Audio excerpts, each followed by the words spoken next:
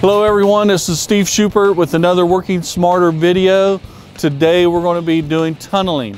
So the scenario is a, a passenger car has driven up and under something, in this case a, a tractor trailer rig. And uh, we've determined the, for this uh, purposes of this video that our rescue technique is going to be tunneling through the trunk. We're going to pop the uh, trunk lid, cut out the rear dash, go through the back seats, and uh, get the seat backs cut down and be prepared and then create a path that we can slide the victim out on a backboard, rescuing them from under the vehicle. Now there's several ways we can attack this.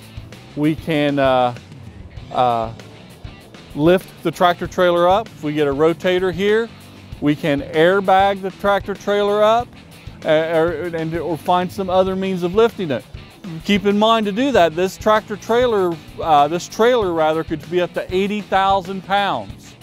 So develop your resource list and check your logistics that you can handle those things. We can also use the air system. So in some trailers, you can use the air system of the trailer itself to raise that up. Now, raising the trailer up is a decent option.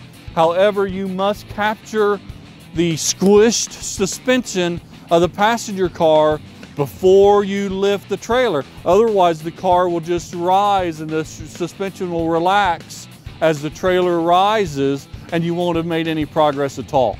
So that's one of the reasons why tunneling is a viable technique, is that it's not uh, practical to try to lift the, lift the load, stretch the suspension of the car, make no progress, and have to reset to plan B. Often crews go to uh, the tunneling thing right away to uh, to, uh, as a shorter path to getting that victim to the appropriate facility.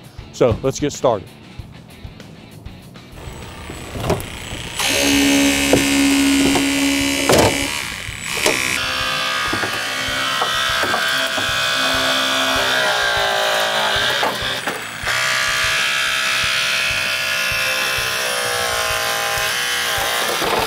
Once the trunk lid is removed, we then begin to remove the rear deck of the vehicle, the rear dash.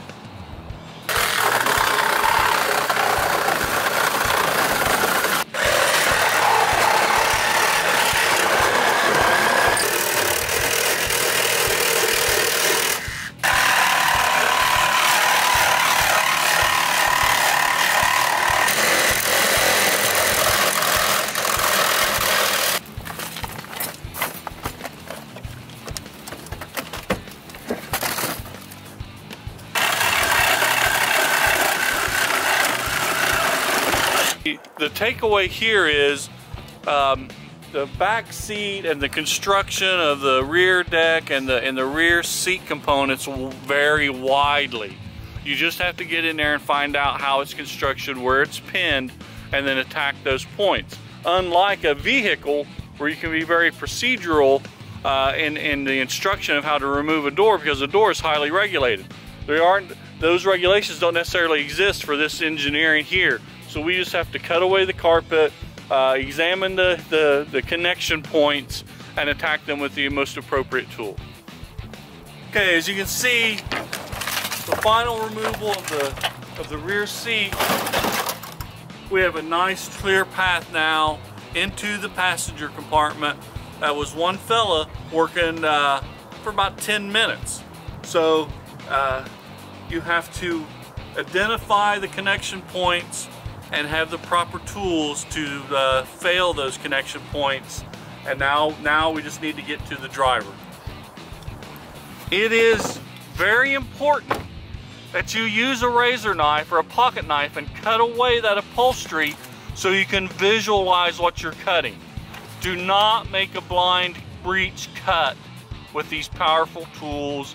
See what you're wrapping your tool into and so you have uh, don't, don't just try to get away with it. Do it the right way. Cut it away and visualize your target and, and, and make the cut once. Okay, as you can see this seat construction design here, we've taken the plastic uh, cover off of the, the hinge point here where the seat pivots forward to allow passengers in the rear. And, and like I was saying earlier, if this is a wide assembly, not uncommon. It's very difficult to get a complete wrap of your hydraulic cutters on this seat back frame. So you want to try to avoid this spool part, because that steel extends forward along the floorboard and there's no wrapping that. There's no wrapping that with the cutters.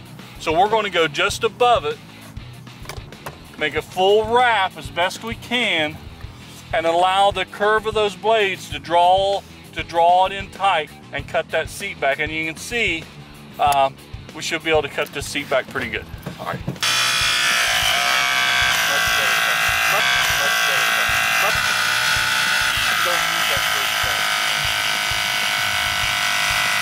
The other thing to be watchful for are the are the car seat airbags. So it's another good reason to be always be carrying a pocket knife with you. Strip that upholstery away. Think of it as peel and peek.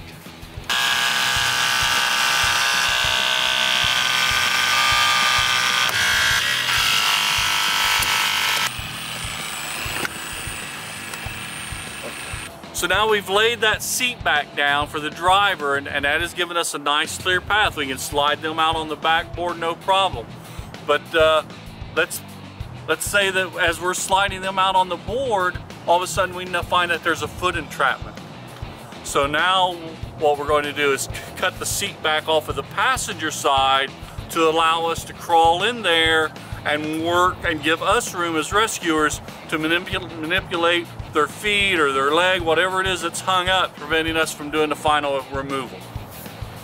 We've cut back the passenger side seat in an effort to get access to the driver's legs. Part of, so what we're doing here now is we're going to compress the vehicle, we're going to spread between the vehicle transmission and the dashboard crash bar to lift the dash up to create space to free the victim.